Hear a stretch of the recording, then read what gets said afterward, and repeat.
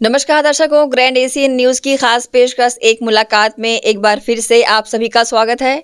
एक मुलाकात कार्यक्रम के तहत हम काफ़ी शख्सियतों से आपको रूबरू करा चुके हैं और आज इस वक्त हमारे साथ स्टूडियो में जो शख्सियत मौजूद है, वो किसी परिचय की मोहताज भी नहीं है। जी हाँ मैं बात कर रही हूँ संजय दानी जी की। ये पूर्व पार्षद रह चुके हैं और भाजपा की कद्दावार शख्सियों में शुमार होने के बाद इन्हें हाल ही में नगरीय निकाय प्रकोष्ठ के प्रदेश सह संयोजक से नियुक्त किया गया है। और ये नियुक्ति के बाद इन्होंने काफ़ी सक्रियता दिखाई है और लगातार पार्टी के साथ रह करके रणनीतियाँ भी तैयार कर रहे हैं। तो कुछ सवाल ऐसे हैं जिनके जवाब हम इनसे जानेंगे। और सबसे पहले हम इनका स्वागत करते हैं। सर आपका स्वागत जी नमस्कार। सबसे पहले मैं आपको बधाई देना चाहूँगी। आप सह संयोजक नियुक्त किए गए हैं। और ये नियुक्त होने के बाद में आपने आपको कैसा लगा जो इस विश्वास आप पर जताया गया? देखिए पार्टी मैं सबसे पहले पार्टी के जो शीर्ष नेतृत्व है चाहे वो प्रदेश के हों, चाहे राष्ट्रीय नेतृत्व के प्रति धन्यवाद ज्ञापित करता हूँ कि उन्होंने मुझे इस पद के लायक समझा और मैं निश्चित रूप से इस पद में रह के पार्टी ने जो जो मेरे प्रति सोचा है, जो निष्ठा, जो मेरे प्रति विश्वास जगह व्यक्त किया, जताया है, उसमें मैं खरा, पूरा खरा उतरने की पूरी कोशिश करूँगा। कई निकायों में भारतीय जनता पार्टी काबिज नहीं है। देखा जा रहा है कि कांग्रेस की सरकार वहाँ पर बनी हुई है कांग्रेस काबिज है। भावी रणनीति क्या रहेगी निकायों में प्रदेश स्तर पर काबिज करने के लिए? देखिए ऐसा होता है जब भिला नगरीय निकाय में जो का, काम करते हैं नगरीय निकाय का जो काम है वो सीधा जनता से जुड़ा हुआ है। वहाँ की जितनी मूलभूत सुविधाएँ सीधा जनता के से सीधा जुड़ा जुड़ा जुड़ा जुड़ा रखती हैं। निश्चित रूप से ऐसी कई योजनाएँ चाहे वह केंद्र परिवर्तित योजना है चाहे राज्य परिवर्तित योजना है और कई ऐसी योजनाएँ लागू होती जो सीधे रूप से जनता को उनको लाभ नहीं मिल पाता।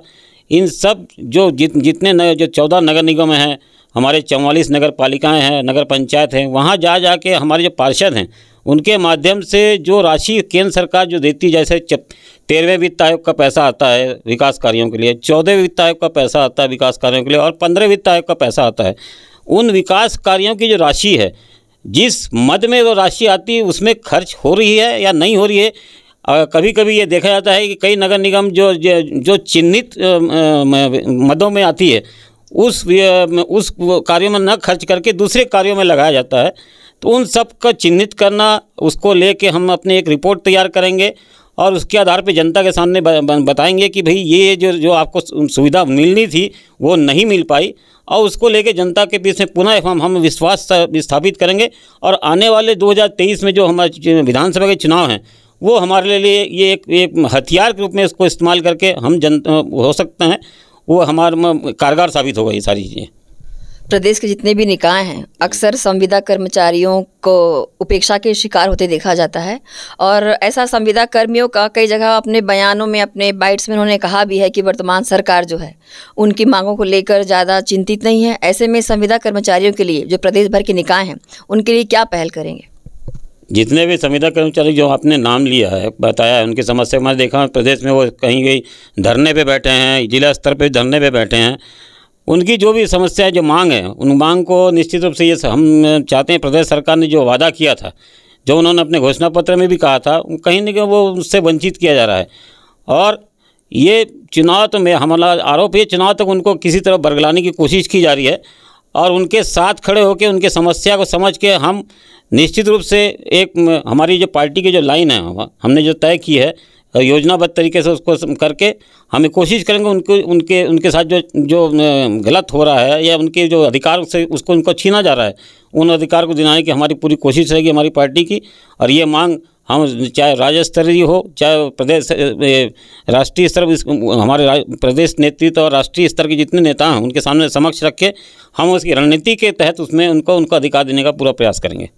अभी तो हमने आपसे प्रदेश के निकायों को लेकर चर्चा की। अब हम भिलाई निकाय को लेकर आपसे बात जानना चाहेंगे वो ये कि आप पूर्व पार्षद रह चुके हैं और भिलाई निगम में भी वर्तमान में कांग्रेस सरकार का काबिज है। और ऐसा देखा जा रहा है वेतन विसंगति वेतन को लेकर काफ़ी कर्मियों में आक्रोश है लगातार उनके आंदोलन भी हो रहे हैं। तो ये जो इसके लिए क्या पहल करेंगे? आपने अच्छा मुद्दा उठाया वेतन की जहाँ तक आप बात कर रहे हैं। भाई भिलाई नगर निगम और मैं कहीं जहाँ तक हमने बात हुई थी, यहाँ पे सबसे पहले तो मैं ये बोल रहा हूँ कि हमारे नगर भिलाई नगर की वास्तविक आय कितनी है? इस बात पे हमको ध्यान देना चाहिए। मैं देख रहा हूँ, अमूमन देखा गया है कि बजट जो बनता है, आपकी जो वास्तविक आय होती है, जैसे भिलाई नगर निगम की जैसे मैं जानता हूँ क्योंकि मैं रहा हूँ, इसलिए मैं जानता हूँ कि बहुत ज़्यादा हो तो 110 करोड़ से 100 करोड़ से ज़्यादा नहीं है। अभी मेरे को जो जानकारी है, भिलाई नगर निगम में मात्र ये फरवरी तक तिहत्तर करोड़ रुपये आए वास्तविक आय है। हमारा बजट बनता है, ठीक है, बजट अनुमानित संशोधित होता है, मगर उसकी कितनी सीमा? हमारे यहाँ जो पिछले बार जो बजट महापौर जी ने बनाया था, सात सौ बाईस करोड़ का बजट बन गया था। सात सौ बाईस करोड़ का बजट तो आपने बना लिया मगर मैं ये नगर निगम प्रशासन से जानना चाहता हूँ कि सात सौ बाईस करोड़ का बजट बना लिया आएँगे क्या पैसे कहाँ से आएँगे? इसकी कोई, इनके पास जानो कि अनुमान अनुमान का कोई एक सीमा होती है। आपकी आय कम है मात्र सौ करोड़ की आय है, और आपने बजट बना लिया और तो उसके बाद आपने अभी जो ठेका किया, सफ़ाई का ठेका, लगभग छत्तीस करोड़ का ठेका किया आपने। छत्तीसगढ़ को ठेका करने के बाद आप, बताइए आपकी आय नहीं है, आप कर्मचारियों को वेतन कैसे देंगे? अभी कर्मचारियों को वेतन को लेकर आपने देखा होगा कि भिलाई नगर, के नगर निगम के कर्मचारी धरने पे बैठे थे, उनकी, उनको दो दो महीने का पेमेंट नहीं मिला। सफ़ाई जो कर्मचारी आप जो बेचारे आपके दिन रात आपके सफ़ाई के कर्म कर्म के कार्यों में लगे रहते हैं, उनको दो दो तीन तीन महीने से पेमेंट नहीं मिल रहा है तो इसके लिए आपके क्या सोच रहे हैं? क्या, कौन सी योजना है आपके? तो कहीं ना कहीं मैं समझता हूँ ये प्रशासन की गलती है और नगर निगम आयुक्त जो मैं सुना हूँ कि बहुत ऊर्जावान है एनर्जेटिक है, मगर उनकी योजना धरातल पे कहीं नहीं दिख रही मुझे। तो ये कहीं ना कहीं आपकी प्रशासनिक क्षमता का अभाव आप में दिख रहा है। क्लियर तो सर, ये तो मुद्दा था भिलाई निगम का। हम अभी नवनिर्मित रिसाई नगर निगम को लेकर के भी आपसे कुछ सवाल करना चाहते हैं। वो ये कि हाल ही में सफ़ाई को लेकर के वहाँ जो एक मुद्दा उठा था और कंपनी के ऊपर उसको ब्लैक लिस्टेड भी कर दिया गया था और उनको, उनके ऊपर एफआईआर की भी मांग भी की गई थी। लेकिन इस बात को काफ़ी, यानी लगभग बीस से पंद्रह से बीस दिन शायद अमूमन होने जा रहा है। लेकिन फिर भी ना तो एफआईआर हुआ और इसके लिए भाजपा जो है, जो कि आवाज़ उठाई थी, पहल की थी, चुप्पी भी साधे हुए। कारण क्या है, सर? नहीं, चुप्पी तो नहीं साधे में भाजपा ने अपना जो काम करना तो किया है। जहाँ तक जिस ठेकेदार की आप बात करें, वो पी, उनका नाम मैं जानता हूँ, पी वी जो एजेंसी के नाम से वो काम कर रहे थे। मैं आपके माध्यम से साइन जी, ये पूछना चाहता हूँ कि भाई, आप एक ठेकेदार को किस, इतना लायक कैसे समझिए वो ठेकेदार भिलाई नगर निगम में भी काम करता है, वही ठेकेदार रिसारी नगर निगम का भी ठेका लेता है, वही ठेकेदार धमतरी का भी ठेका लेता है और वही ठेकेदार रायगढ़ का भी ठेका रहता है। धमतरी नगर निगम ने उसको ब्लैक लिस्ट किया, काली सूची में दर्ज किया। इसके पूर्व में भिलाई नगर निगम की सामान सभा ने भी उसको सर्वसम्मति से, जिसमें मैं भी उसका हिस्सा था, हमने सामान सभा, उसको काली सूची में दर्ज किया था। उस ठेकेदार को क्षेत्रीय कार्यालय, जो पीएफ, जो क्षेत्रीय भविष्य निधि का कार्यालय, उसको सेवन ए की नोटिस मिलती थी। सेवन एटी सेवन ए की नोटिस मिलने का अर्थ यह है कि उसके तुरंत उसके ऊपर जो पीएफ की, जो ये सफ़ाई कर्मचारी को जो प्रोविडेंट फंड की जो राशि को जमा नहीं करता है उसके विरुद्ध वो कार्रवाई होती है और उसका लाइसेंस को रद्द किया जाना था। मैं पूछता हूँ, ऐसी क्या उस ठेकेदार के प्रति ये इनकी सहानुभूति थी कि उस ठेकेदार को ये दिए और उसके पूरे बिलों का भुगतान किया उन्होंने? आज वो करोड़ों रुपया नगर निगम का ले चुका है, उसके सब विरोध होने के बावजूद भी उसको आज आज आपने वंचित किया ना, उसको भिलाई नगर निगम ने उसको निविदा में भाग लेने से वंचित कर दिया। मतलब आप मान रहे हो कि वो ठेकेदार कहीं ना कहीं गलत था, इसलिए उसको वंचित कर दिया गया। तो ये सारी कार्रवाई हमारे निगम प्रशासन को पहले ही कर लेनी थी तो आज ये नौबत नहीं आती। निश्चित रूप से जहाँ तक आप एफआईआर की बात कर रहे हैं तो एफआईआर देखिए एक शपथ पत्र होता है। कोई भी ठेकेदार निविदा में जब भाग लेता है, उससे एक शपथ पत्र लिया जाता है कि मैं काली सूची में दर्ज नहीं है, उसके एक नियम कानून बने हैं कि उसको पाँच साल तक उसको काम नहीं देना है। उसके बाद भी वो ठेकेदार, मैंने राज्यपाल से शिकायत की थी, मैंने इनके नगरी नगर नगर सिंचाव सचिव से शिकायत की इसके सारी चीज़ों की, पूरे तथ्यों के साथ। उसके बाद भी वो ठेकेदार निविदा में भाग लेता है, उसको काम मिलता है उससे कार्य कराया जाता है। अब अब ये क्यों स्थिति बनी कि कार्य वहाँ पे मुद्दा उठा रही सारी नगर निगम में कि इस ठेकेदार को काली सूची में दर्ज करना चाहिए तो यहाँ थोड़ा सा विरोधाभास हो रहा है। एक नगर भिलाई नगर निगम के आयुक्त का उनका कहना अलग है और उनका कहना उसी के आधार पे वो धनतरी नगर निगम से उसको जो काली सूची में दर्ज किया गया, उसके आधार पे उसको आपने कार्य से उसको विमुक्त किया हटा दिया। तो और उसके खिलाफ एफ़ की जो मांग उठी, पार्षद, भाजपा के पार्षद उठाया है तो उन्होंने बोला है, विश्वास भी दिया है निश्चित रूप से कार्रवाई होगी। और मैं समझता हूँ, चूँकि सफ़ाई का मुद्दा जनता से जुड़ा मुद्दा है, जनता के पैसे का हमारे जो संपत्ति कर लिया जाता है, संपत्ति कर समेकित, उसका पैसा है, और उसके खिलाफ कड़ी कार्रवाई होना चाहिए। और जिन जिन सफ़ाई कर्मचारियों को पैसा नहीं मिला, उस ठेकेदार की संपत्ति को रात सात करे, और उसके बाद उन कर्मचारियों को पैसे का दिलाए उनको। और निश्चित रूप से आप जो बोल रही हैं, इसमें कार्रवाई नहीं होगी तो हम इसके लिए जो हमको, हम जो ऊँचे स्तर पर जहाँ जहाँ जाना पड़ेगा, बिल्कुल जाएँगे उसके खिलाफ। भिलाई नगर निगम में हाल ही में सामान्य सभा हुई। शहर की सफ़ाई और पानी व्यवस्था और काफ़ी मुद्दों को लेकर वहाँ पर चर्चा भी की गई है और गहमा गहमी का माहौल रहा। शहर की सफ़ाई व्यवस्था और जो भी विभिन्न मूलभूत सुविधाएँ हैं, जो मिलना चाहिए वार्डवासियों को, उसके लिए जो चर्चा वहाँ पर हुई, उसके लिए कितने संतुष्ट हैं? निश्चित रूप से देखिए, शाहीन जी, ऐसा मेरा है कि भाई पिछले बार जो भिलाई नगर निगम के शहर से के सफ़ाई का जो बजट था, वो लगभग सत्ताईस करोड़ का बजट था। अभी इन्होंने जो बजट लाया, अभी जो सफ़ाई करोड़ सीधा सीधा दस करोड़ की उसमें बढ़ोतरी हो गई है। छत्तीस या सैंतीस करोड़ का आपने बजट पेश किया है। उसमें आप एक चीज़ देखेंगे कि अठारह मई 2022 को एक अधिसूचना जारी होती है राज्य सरकार के माध्यम से। उसमें उसमें साफ़ साफ़ मेंशन लिखाता है कि आयुक्त के वित्तीय अधिकार कितने हैं महापौर परिषद के वित्तीय अधिकार कितने हैं? आपका नगर निगम की जो सामान्य सभा उसके वित्तीय अधिकार कितने हैं? उस वित्तीय अधिकार से अगर एक रुपया भी अगर ज़्यादा होता है तो हमको अधिकार नहीं है। बिला, अभी कल जो सफ़ाई को लेके जो बैठकें हुई थी, उसमें नेहरू नगर जोन में जो जो राशि आई है, दस करोड़ बयालीस लाख की राशि आई है। दस करोड़ बयालीस लाख की राशि तो सबसे पहले जो आपने का वित्तीय अधिकार दस करोड़ था, उससे ज़्यादा है वो। तो आपने इसको कैसे सर्वसम्म बहुमत का इसका मतलब ये नहीं कि आप नियम के विरुद्ध आप चले आप ही ने कहा है कि भिलाई नगर निगम या कोई भी निगम नगर पालिक निगम अधिनियम उन्नीस के आधार पर चलता है। तो मैं ये निगम प्रशासन से जानना चाहता हूँ कि भाई जब दस करोड़ से बयालीस ज़्यादा की राशि आ गई बयालीस लाख की राशि तो आपने उसको पैसे पास कैसे किया नेहरू नगर जोन का?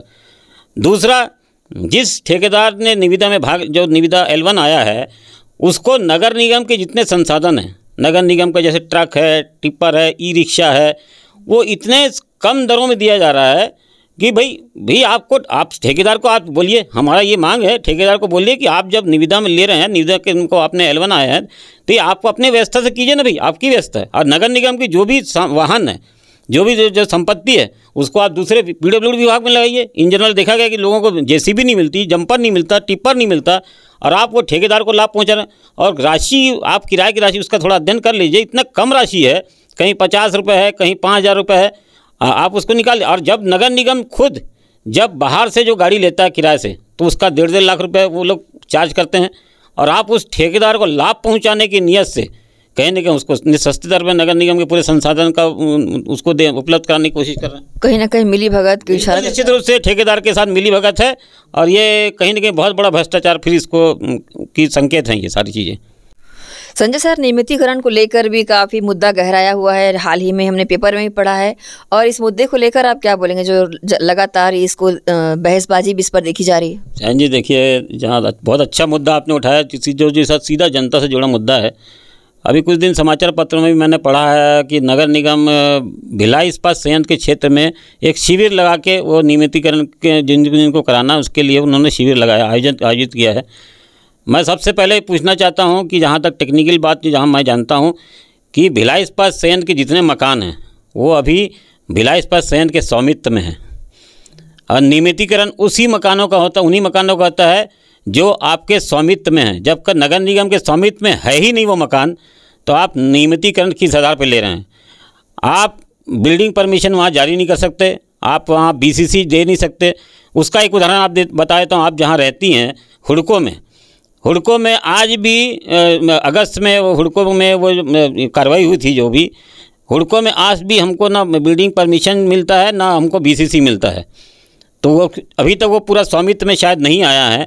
वो सेम चीज़ आपने भिलाई इस्पात संयंत्र के लोगों को को शिविर लगा के बैठ गई। ये कहीं ना कहीं मैं मुझे एक तुगलकी निर्णय लगता है। और अगर करना ही है तो आप भिलाई इस्पात संयंत्र के साथ बैठिए, उनके साथ यहाँ जन, सम्मानित जनप्रतिनिधियों को बढ़ाइए उसमें दोनों दल के लोग हों और एक, जो एक नॉमिनल राशि, जिससे जनता को कोई बहुत ज़्यादा भार ना पड़े। क्योंकि वो भिलाई इस्पात संयंत्र के से आए हैं और अचानक से आप उनको एकदम से नियमितीकरण के माध्यम से हज़ारों रुपया लाखों रुपया मांगोगे तो कोई दे नहीं पाएगा। और सबसे बड़ा सवाल यही उठता है साईं जी मैं फिर उसको दोबारा रिपीट करूँगा कि आपके स्वामित्व की वो जगह ही नहीं तो आपने जब मेरे मेरी प्रॉपर्टी नहीं है मेरी संपत्ति नहीं है तो आप नियमितीकरण किस आधार पर ले रहे हैं? ये मेरा क्वेश्चन नगर निगम प्रशासन के आयुक्त से है। लेकिन बीएसपी प्रबंधन भी इस पर चुप्पी साधे रहता है ये कारण क्या हो सकता है? बीएसपी प्रबंधन का तो ऐसा है शाहीन जी अब वो सब ये बात थोड़ा सा राजनीतिक हो जाएगी। बीएसपी प्रबंधन तो ऐसे बहुत सारे राजनीति का शिकार हो गई है। बीएसपी प्रबंधन कुछ ऐसे, उसमें बोलने जाएँगे तो चाहे वो कांग्रेस हो, भाजपा हो, म- कहीं ना कहीं वो, एक व्यवहार व्यवहार में ला रही है उसको, मगर नियमतः जाएँ तो उसमें बहुत सारे लोगों को परेशानी हो जाएगी। मगर चूँकि नियमितीकरण का मामला है, ये बहुत बड़ा ज्वलंत मुद्दा सीधा जनता से जुड़ा मत मुद्दा है हम भिलाई नगर निगम को को उसको नियमितीकरण करने का अधिकार ही नहीं है। जब आपके स्वामित्व की जगह नहीं है, आपका आपका मालिकाना हक ही नहीं है उस पर तो पहले अपने मालिकाना हक है, अपने नगर निगम में उसको शामिल कीजिए पूरे टाउनशिप को, उसके बाद नियमितीकरण की बात आएँगी, और उसके बाद भवन अनुज्ञा और भवन पूर्णता प्रमाण पत्र की बातें आएँगी। और इसको कम से कम जनता के हित में हम क्या कर सकते हैं, इसमें नगर निगम को पहल करनी चाहिए।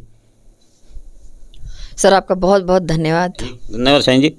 बहुत बहुत बहुत धन्यवाद जो आपने मुझे स्टूडियो में बुलाया और मेरे से कुछ सवाल जवाब की तो ये थे हमारे साथ कद्दावार शख्सियतों में शुमार संजय दानी जी। जी हाँ अभी हाल ही में नगरीय निकाय प्रकोष्ठ के सह संयोजक वो नियुक्त किए गए हैं। हमसे उन्होंने काफ़ी चर्चा की, शहर की व्यवस्था को लेकर साफ़ सफ़ाई हो, नियमितीकरण हो, या फिर संविदा कर्मचारियों की मांग, इन सबको लेकर हमसे चर्चा की और काफ़ी सवालों के जवाब उन्होंने काफ़ी बेबाकी से भी दिए।